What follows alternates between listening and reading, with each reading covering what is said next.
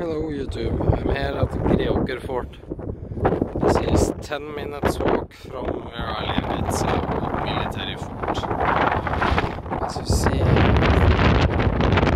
it's a bit windy, but look at that view. It's beautiful here, isn't it?